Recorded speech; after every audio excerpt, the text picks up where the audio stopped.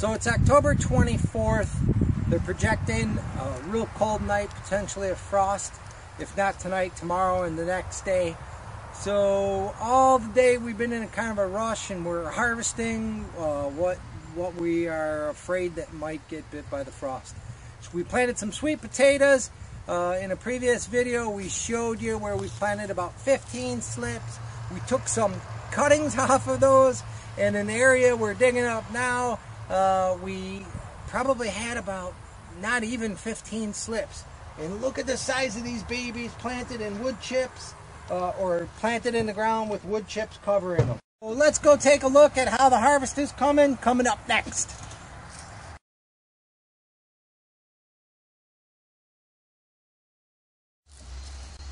So it's the end of the season. There's kind of a mess around. Uh, please forgive me. We're, we are building a house, as most of you know, so we have not really had a lot of time to spend in the garden. As you can see, we are on a hillside right here. And we chose this spot specifically, and as a matter of fact, these sweet potatoes got in late. We grew our garlic here. So we didn't even plant the sweet potatoes until, uh, I think, somewhere around July, after we harvested our garlic. Uh, but the one reason that we chose this spot, both for the garlic and sweet potatoes, being right downhill, we're composting right here in this area. So when it rains, those nutrients flow down. What we did in this area for preparation, we pulled out our garlic and that was it, and we left it. It has wood chips on down for about a year.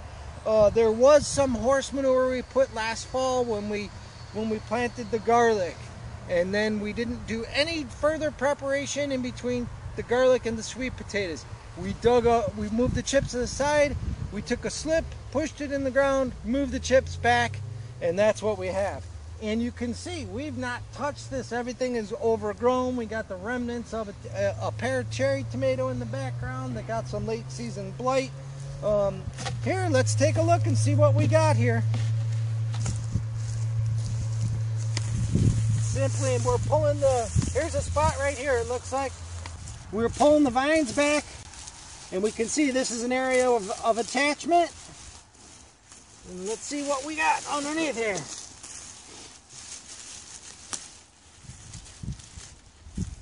We found all different kinds of shapes and sizes. Uh, the root structures happen to run everywhere under the chips. Looks like we got some small ones in here. And you can see there's nice chips breaking down and some compost occurring in here.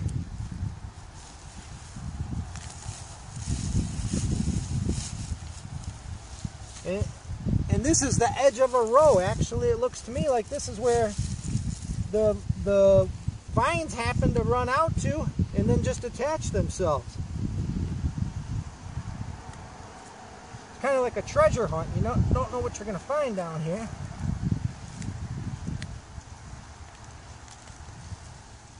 Now that's a sweet potato.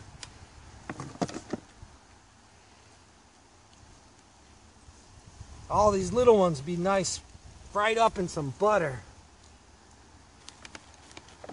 And you can see we have very clayey soil. I mean, this is nothing special. We did not rototill this soil. We did not, we have not rototilled this garden whatsoever. We just laid the chips down and the chips are doing their thing. This is a long, skinny one. It looks like I'm to end up breaking it when I go to get it out of here. Not too bad. And this is just one spot we got here. A lot of little ones. But the little ones taste good.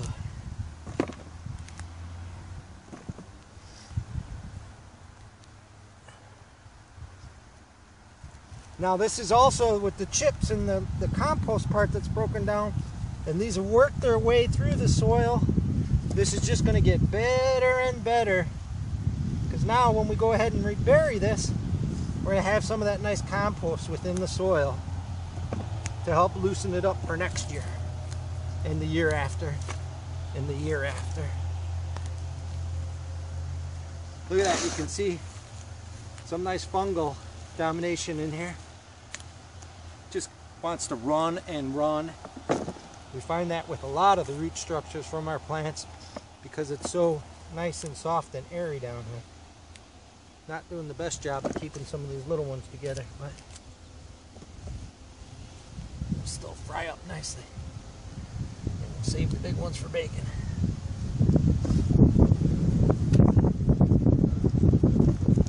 This guy's poking his nose. Let's see how. Oh, there's another run of them right in here. Looks like. Wow, look at this. This is all just where. Did I get that last one's over there? This is all just where the roots attached. Oh, missed that.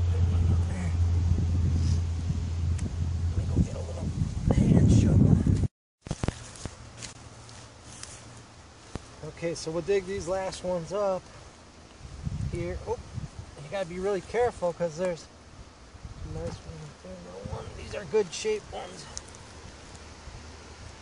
So once again, this area here had about, I don't know, it had a garlic crop in for, for the planted last fall, harvested in the spring. Overall, this area here has, I don't know, about maybe two inches left. It was four inches of wood chips when we put it down.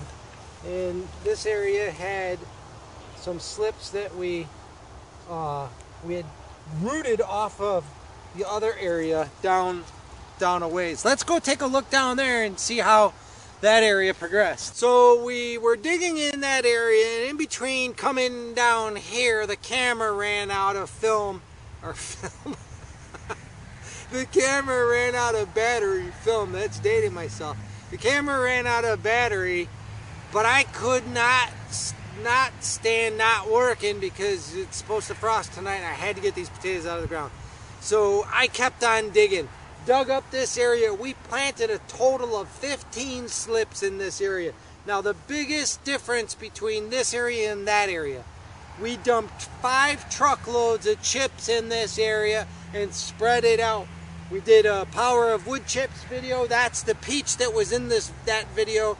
And this is the the sweet potatoes that were behind it. You can go ahead and take a look at that video. At the end of this video, there'll be a link for that. So you can go back and review that and these apple trees on my left here.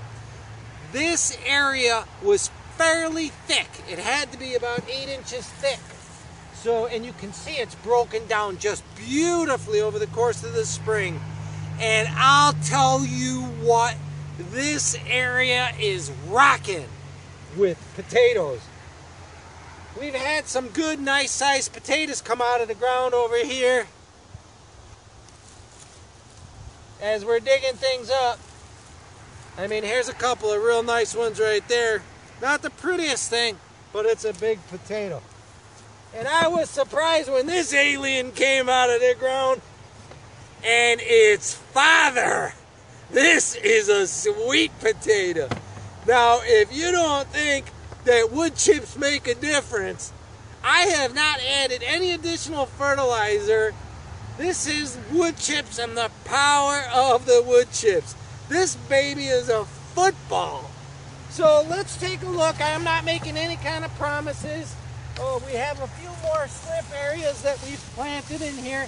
You can see that these these vines have just grown dense and thick and unbelievably so. Just in this area we planted three slips four slips four slips and four slips. A total of 15 slips. So let's see. You can see how how rich the soil looks and broken down. And there are some potatoes in here. Big sweet potatoes i'm telling you no additional fertilizer.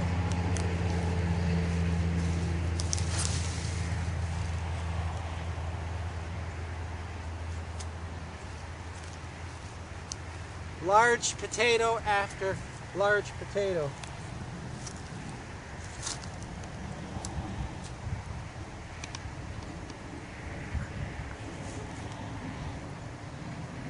They're just coming and coming and coming and this is all wood chip so it's nice and fluffy it is clay soil underneath I mean you can definitely see this clay soil. So there's no secret here. But these chips are thick on top and breaking down nicely. And the potatoes obviously just love it. I mean, this is one spot. You're watching me. There's no camera tricks here.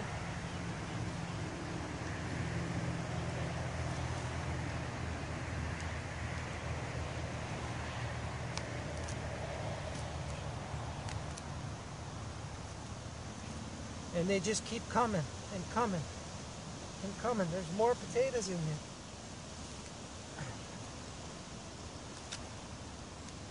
And you can see the fungal growth in here. I mean, there's the answer right there. Look at that, it's beautiful. Oh, ah! Just sharded one.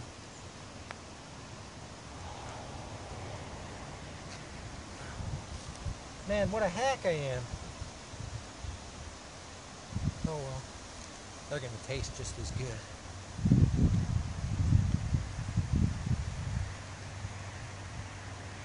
It's the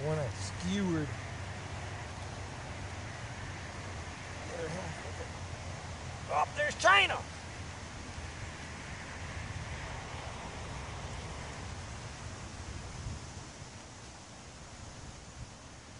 Yeah, these are growing right down in that clay soil beneath the chips. And there's that one that I skewered that's really down in there deep. Oh man, I just heard another one. Oh my gosh, how many potatoes are in here? Need a backhoe for some of these.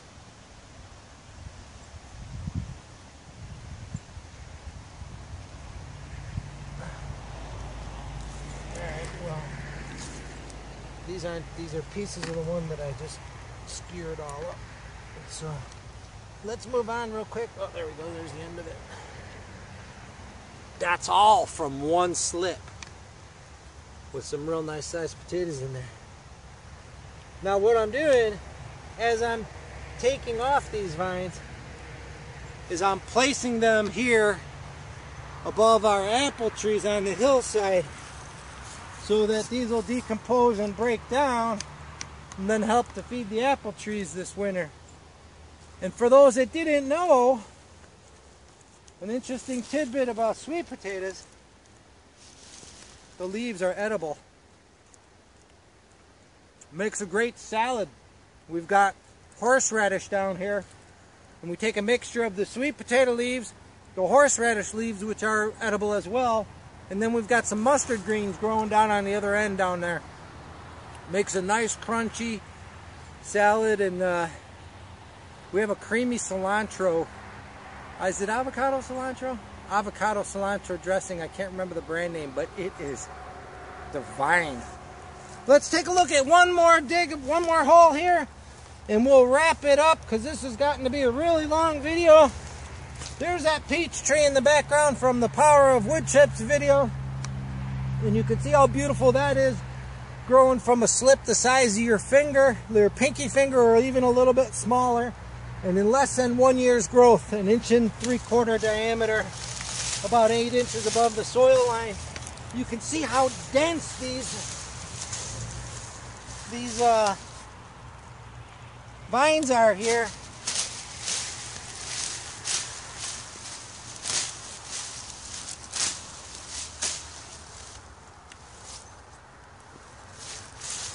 Okay, here we go.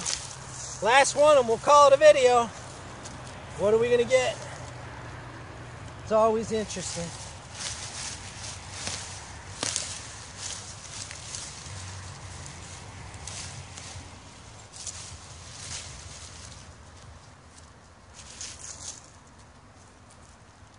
Oh, this is a weird one.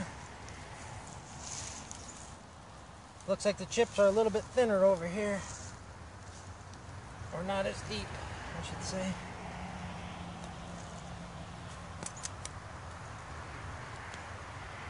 More of a carrot shaped one.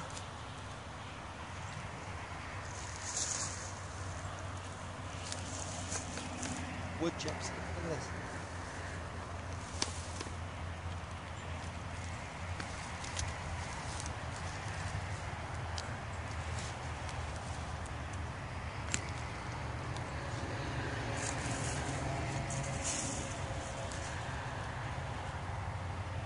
I mean, I think this speaks volumes. Oh, we got a big one over here. Oh boy. Oh boy. This one's cool. Man, you can see all the fungus in there.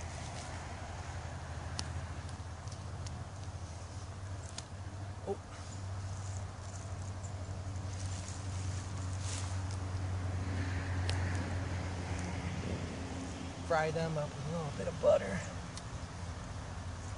Okay.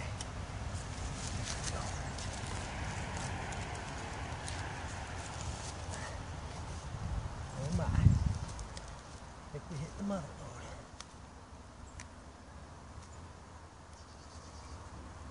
There's a lot of centipedes around here.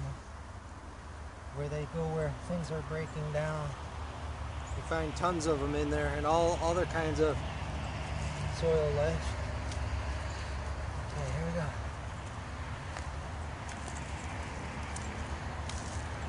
Now that's a sweet potato. Speaks volumes for the process. So if you haven't thought about it already, and you're seeing our videos and you're seeing what the wood chips do, mind you, we have no well. We don't use chemicals. We did not add any other fertilizer.